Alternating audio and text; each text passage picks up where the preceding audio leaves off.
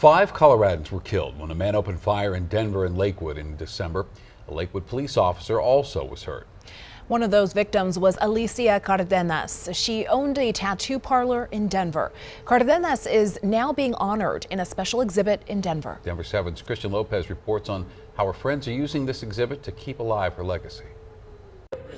The Corn Mothers exhibit began about 20 years ago. Corn Mothers, women from all walks of life who selflessly serve their communities. All of these women that had really made up who the Southwest is, our stories. It's those stories exhibit curator Renee Fajardo celebrates at the History Colorado Center. Because we don't hear a lot of their stories. The exhibit is also a chance to preserve their legacy. Since the induction of these 70 women, eight of them have passed. All of the 70 women you see here were chosen by people from their communities to be honored as a corn mother. This year at the exhibit, you will notice that one of the portraits looks a little different and carries a lot of significance. Alicia had really wanted to be part of this project. She was always like, oh, I want to be a corn mother. Alicia Cardenas, who was gunned down in a mass shooting in December. She had been selected as a 2022 corn mother before her death. When she was murdered, it was a great blow to us us, to the whole community.